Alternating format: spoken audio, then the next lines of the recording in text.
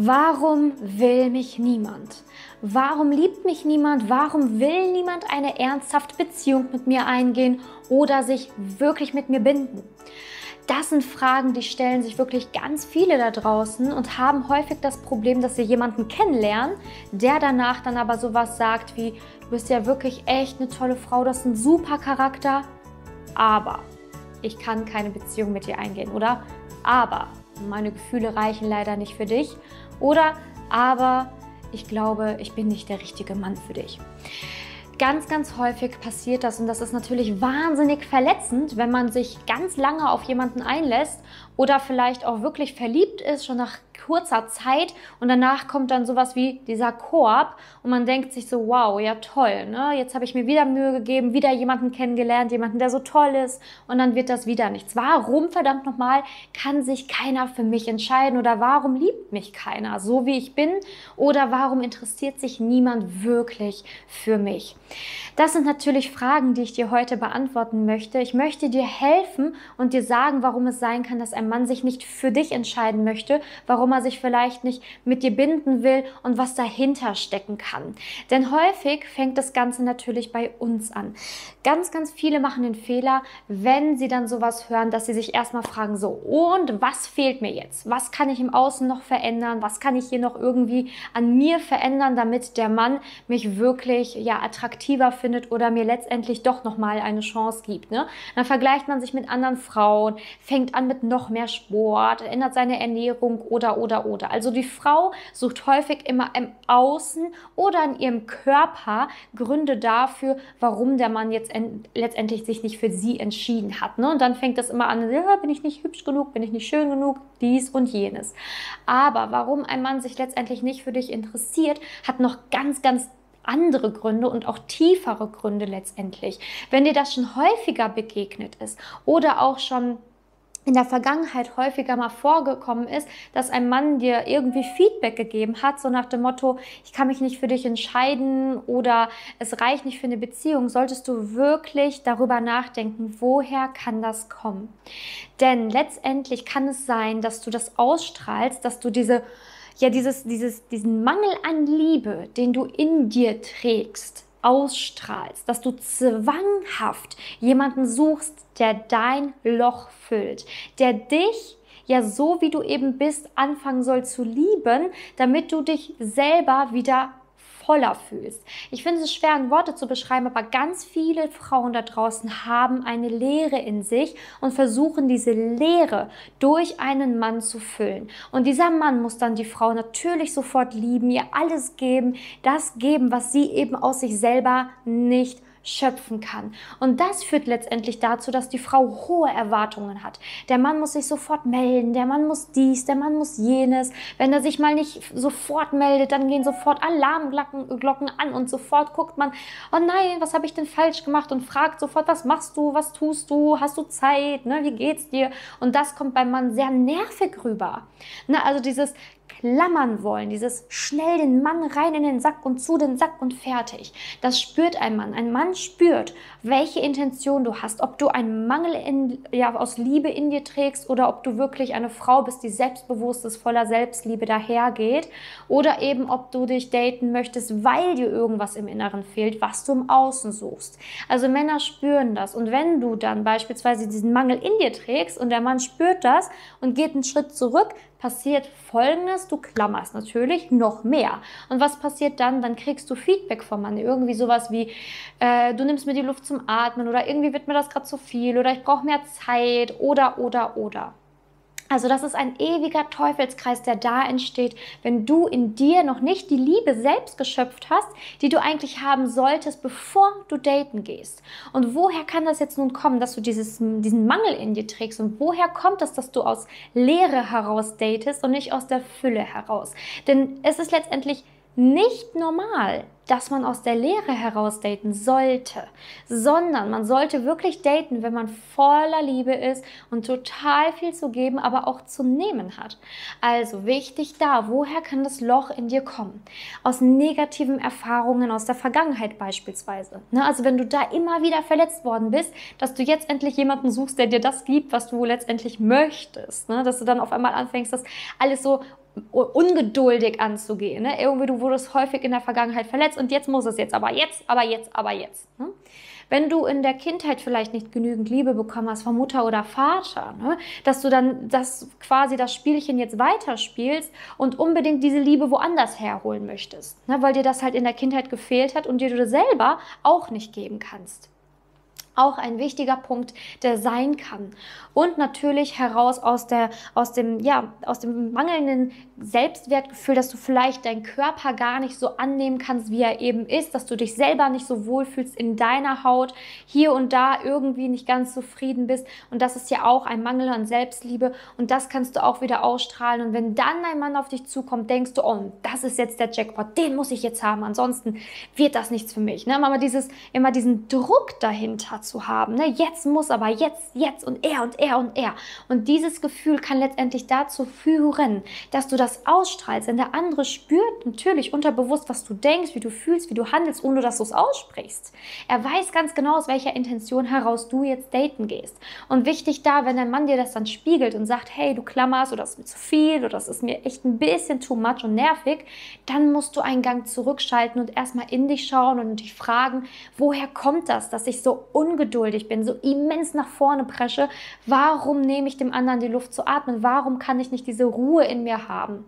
Und ja, die Ruhe in dir findest du letztendlich, wenn du dich selber liebst, akzeptierst, wie du bist, wenn du genügend Liebe in deinem Leben hast, auch ohne Partner und wenn du aus Fülle und nicht aus Mangeln daten gehst.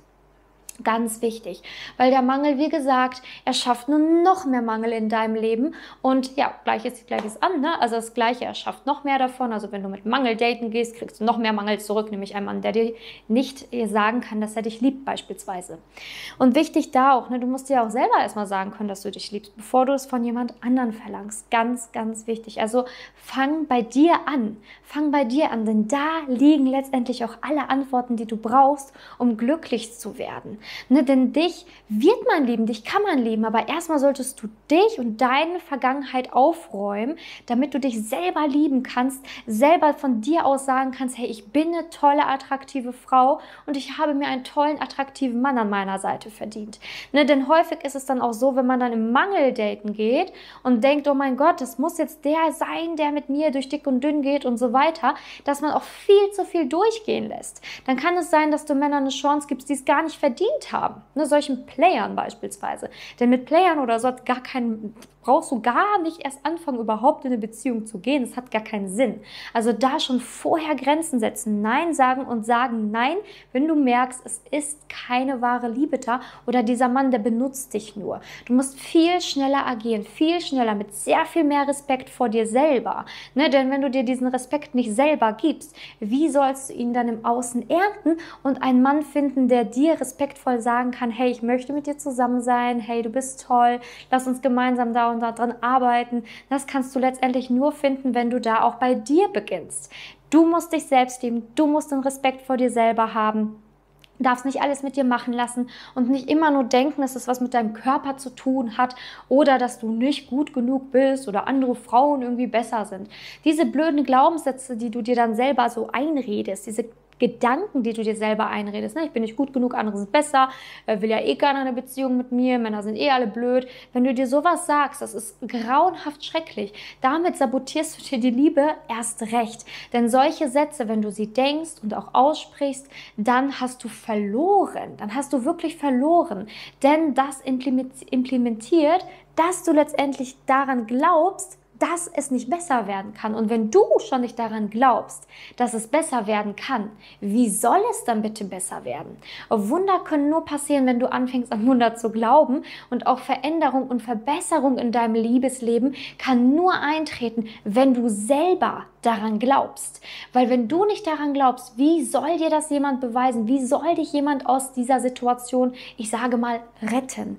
Also wichtig, du musst selber den Weg daraus finden und den Mut haben zu sagen, ja, ich verändere jetzt was und ich merke, ja, stimmt, ich habe ein fehlendes Selbstwertgefühl, ich habe nicht genügend Liebe in mir, ich kann mir die Liebe auch nicht selber geben. Stimmt, hier und da hatte ich bestimmt noch etwas nicht verarbeitet.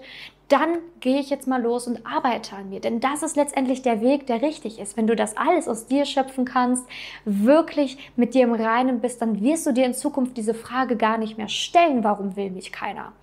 Diese Frage, warum will mich keiner, ist eine Frage voller Selbstmitleid, voller ja, wie so eine Opferrolle, die du einnimmst. Ne? Warum will mich keiner? Warum dies? Warum das? Bemitleide dich nicht selber sondern beginn und fang an zu sehen, dass das Leben wesentlich mehr zu bieten hat, wenn du anfängst, die richtigen Schritte zu gehen. Und es ist nicht schlimm, wenn man bisher, ich sag mal, die falschen Schritte gegangen ist oder gar nicht gemerkt hat, dass man ja im Selbstmitleid so ein bisschen rumtümpelt oder dass man selbst so sich zum Opfer des Lebens macht. Das passiert uns allen mal im Leben, dass wir merken, oh mein Gott, jetzt habe ich mich irgendwie total zum Opfer gemacht, das hätte gar nicht sein müssen, ne? sondern dass man dann dass, dass man das nutzt, das sieht und sagt, okay, ich bemitleide mich nicht mehr selber, ich bin nicht das Opfer in meinem Leben, sondern hey, ich fange jetzt mal an, was zu verändern. Ich habe schon so viele, also wirklich Dutzende Frauen begleitet, die dasselbe kennen, dasselbe durchgemacht haben wie du, die dann gesagt haben, so nein, ich nehme jetzt mein Leben in die Hand und ich verändere was. So, was soll das denn? Ne? Warum sollte ich jetzt hier mich selbst bemitleiden, mir die Opferrolle geben und sagen, oh, ich habe hier eh nur Pech und Männer sind alle doof, sondern die haben dann gesagt, so, okay, Schluss mit diesem Selbstmitleid, Schluss damit, dass ich nicht gut genug bin. Ich will jetzt daran arbeiten, dass ich mich gut genug fühle, dass ich nicht mehr immer nur im Außen suche, was falsch mit mir ist, sondern dass ich einfach mal nach innen schaue, alles heile in mir und dann daten gehe und schaue, wer kommt auf mich zu. Und das ist letztendlich der nachhaltige Weg. So finden Frauen letztendlich auch die Liebe in ihrem Leben. Also wichtig, beginn in deinem Inneren und schau nicht immer nur im Außen und kritisier dich und dein Äußeres nur. Das bringt wirklich gar nichts. Und auch Männer, hak ab die Vergangenheit. Ja gut, dann hat der Mann halt gesagt, du bist nervig, dann hat der Mann halt gesagt, okay, du engst ihn ein und und und. Aber dann seh nach vorne und schließ nicht die Augen auch vor der Wahrheit wieder, sondern seh das. Seh das, dass Menschen dir gespiegelt haben, gesagt haben. Ignorier das nicht einfach. Steck dich nicht in deine Opferrolle, sondern schau, dass du jetzt die Schöpferin in deinem Leben wirst und anfängst, etwas zu verändern. Natürlich braucht es ein wenig Mut, aber keine Sorge, das war es auch schon. Du brauchst nur Mut. Mut. Mut zur Veränderung und einfach losgehen. Das war's. Mehr brauchst du nicht. Du brauchst nicht sonst was, um an dein Ziel zu kommen. Und wichtig auch da, ne, nimm einfach die Ratschläge an, die du hier auch bekommst. Ne, zum Beispiel in diesem Video. Nimm es einfach an und reflektier ganz ehrlich mal dein Leben und schau mal, was davon kann eventuell auch bei dir eingetroffen sein oder was fühlt sich da richtig an. Denn ich gebe dir immer nur natürlich Impulse mit und versuche dich einfach wach zu rütteln und dir zu sagen, du kannst die Liebe haben. Denn jeder hat sich die Liebe verdient und jeder kann sie auch bekommen, wenn er jedoch jedoch, er muss jedoch wirklich die Augen öffnen und die Wahrheit sehen und sie nicht immer nur verschließen, die Augen vor der Wahrheit und so durch die Gegend rennen und sich dann wundern, warum keiner dich will. Also die Frage, warum will mich keiner, ersetzt du einfach durch, was kann ich tun, um zu wachsen? Was kann ich tun, um einen Mann zu finden, der mich will, beziehungsweise was kann ich tun, um in mir die Liebe zu finden, damit ein Mann mich will in Zukunft. Also denke so, beginne jetzt, verändere jetzt was in dir und du wirst sehen, es wird sich alles ändern. Dein ganzes Leben im Bereich Liebe. Also abhaken, Haken hinter, nach vorne sehen. Und wenn du jetzt sagst, okay, finde ich cool, äh, hat mir gefallen das Video, dann ähm, kannst du dich auch gerne, wenn du weitere Hilfe willst, bei mir melden. Du findest unten in der Beschreibung einen Link zu meiner Website und da kannst du dich für ein kostenloses Gespräch bei mir eintragen und ich gucke, ob und wie ich dir helfen kann, beispielsweise dein Selbstwertgefühl, deine Selbstliebe wieder aufzubauen oder das ein oder andere in dir zu heilen, was dir vielleicht aktuell noch noch im Weg steht, weswegen du ja diese blöden ganzen Sätze und Erfahrungen leider gemacht hast. Denn wie gesagt, eine Frau, die aufgestellt ist, eine Frau, die sich selbst liebt, eine Frau, die aus der Fülle heraus daten geht, die wird auch einen Mann ins Leben ziehen, der ihr genau das geben kann, was sie möchte. Und dann musst du auch keine blöden Tipps mehr annehmen, welche dir einige Dating-Coaches da draußen sicherlich auch schon mal gegeben haben. Mach dich rar, melde dich mal drei Tage nicht, mach dies, mach das. Schwachsinn. Es ist absoluter Schwachsinn, weil es bringt einfach gar nichts, denn das ist dann wie ein Theaterstück. Du musst dich jedes Mal verstellen, musst immer überlegen, was darf ich jetzt sagen, was darf ich nicht sagen. Total unauthentisch und unnatürlich. Man wird sofort merken, dass es gar nicht von dir kommt. Aber wenn du wirklich an der Wurzel arbeitest, als an deiner Selbstliebe, deinen Selbstwert, die, die Liebe in dir entfachst, herausfindest, was ist noch nicht geheilt in mir, dann wirst du diese Kraft eh aus dir selbst schöpfen. Und dann bist du so entspannt beim Daten, dass dieser Mann ja, sich auch mal ein paar Tage nicht melden kann, du es gar nicht schlimm findest und er sich dann einfach meldet. Das ist alles super natürlich und du musst nicht diese komischen Spielchen spielen. Dann kommt das nämlich alles von alleine und du hast so einen Selbstwert, dass du sagst, ja, okay, meldet er sich jetzt nicht dran? Nö, ich, ne, ich mache jetzt was anderes und mir geht's gut. Und dann wird er sich definitiv trotzdem melden. So, ne? Dann wirst du diese Spielchen nicht spielen müssen, sondern das ist dann einfach in dir. Und du weißt natürlich, wie du handeln sollst. Du weißt natürlich, wie du einen Mann bekommst, der an deine Seite passt. Und das wünsche ich mir letztendlich für dich, dass du das erreichst ohne irgendwelche Spielchen, die letztendlich nichts bringen, weil du dich so verstellst, dass du nach vier, fünf Tagen eh wieder in deinem alten Ich bist und dann ja alles in die Hose geht. Also, ich würde mich sehr freuen, von dir zu hören, falls du meine Hilfe möchtest. Und ansonsten freue ich mich auch sehr, wenn du weiter bei diesem Kanal bleibst, ihn abonnierst und immer auf dem Laufenden bleibst, wenn ich über das Thema Liebe spreche, um dir zu helfen. Danke fürs Zuschauen.